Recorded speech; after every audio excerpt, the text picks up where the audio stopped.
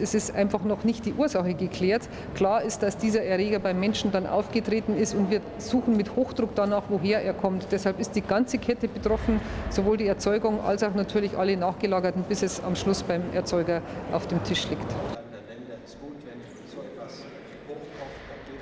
Hamburg hat auf spanischen Gurken, Gurken EHEC-Erreger gefunden, auch wenn sie bei den zwei jetzt beprobten Gurken nicht aus diesem äh, Stamm stammen. Aber es sind belastete Gurken und deshalb war eine Schnellwarnung auf alle Fälle ganz nach dem europäischen Recht.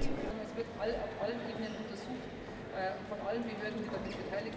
Wir sind letztlich auf dem Stand wie in der vergangenen Woche, wo sich die äh, Ursache auf diese drei Lebensmittel eingrenzen ließ. Aber konkret, welche Lieferwege, welche Herkunft, welche Verarbeitungsprozeduren, welche Verpackungen, die hier verantwortlich sein könnten für die Kontamination, hier gibt es in der Zeit keine Information.